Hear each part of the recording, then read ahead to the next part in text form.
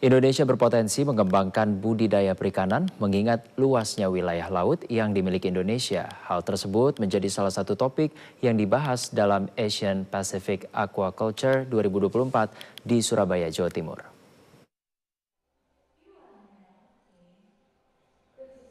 Perubahan iklim global berpotensi menyebabkan terjadinya krisis pangan di dunia.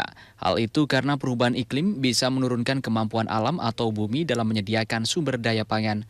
Asia Pasifik sendiri memiliki prevalensi kerentanan pangan tertinggi kedua di dunia karena kurangnya ketersediaan jumlah pangan yang sehat. Untuk itu diperlukan upaya optimalisasi produksi pangan dari sektor lain, salah satunya perikanan, mengingat 72 persen permukaan bumi didominasi oleh laut. Hal tersebut disampaikan oleh Ketua Umum Masyarakat Aquaculture Indonesia, Profesor Rohim Dahuri dalam ASEAN Pacific Aquaculture 2024 di Surabaya, Rabu pagi.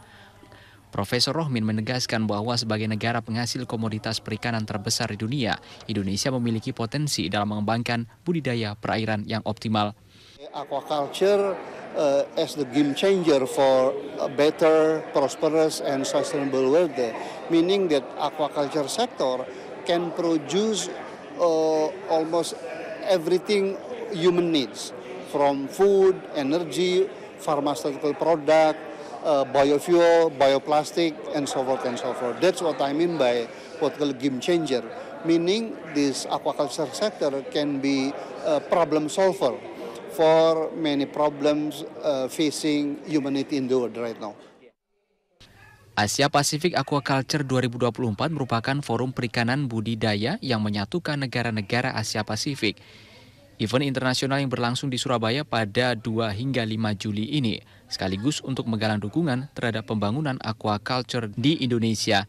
Ini ada ketiga kalinya Indonesia menjadi tuan rumah ASEAN Pacific Aquaculture setelah pada 2005 lalu digelar di Bali. Kemudian 2016 event serupa digelar di Surabaya. Dipilihnya kembali Indonesia sebagai tuan rumah karena menjadi salah satu produsen produk perikanan terbesar, terutama perikanan budidaya dan menarik investor perikanan terutama dari luar negeri.